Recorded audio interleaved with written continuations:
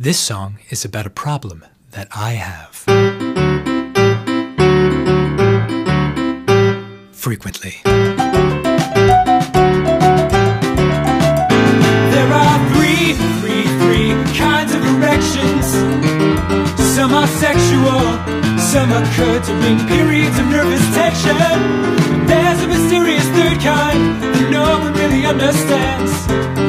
Happens when your schlong decides to take matters into its own hands.